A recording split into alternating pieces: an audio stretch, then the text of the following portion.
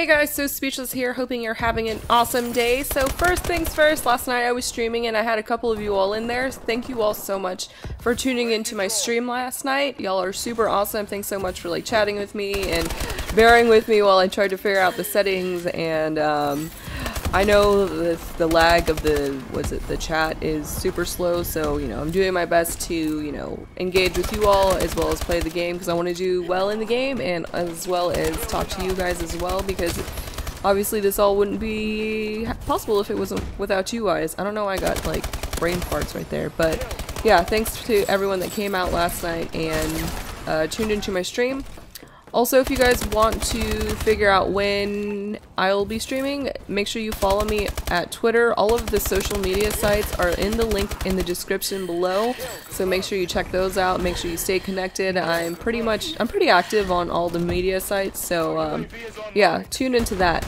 Also, I wanted to give a quick shout out to a YouTuber um, by the name of Space Raiders HD Lee. Uh, he shouted me out in one of his videos. He's a cool guy. He's really awesome. I actually talk to him quite frequently. We just joke around and stuff like that. Um, he does stuff like Life is Strange. He does a little bit of like the Lego Jurassic Park.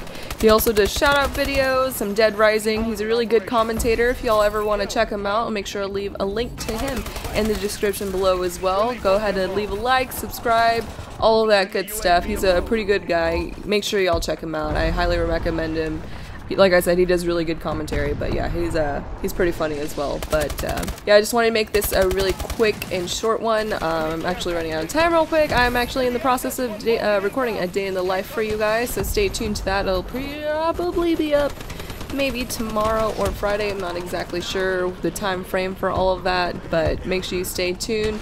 Like I said, just follow me on everything. I am active on everything and all that wonderful stuff. But that is pretty much gonna wrap up today's video. If y'all enjoyed, make sure you leave a like and subscribe if you're new to my channel. Lit channel. Other than that, I hope you guys are having an amazing day and as always, thank you all so much for stopping by.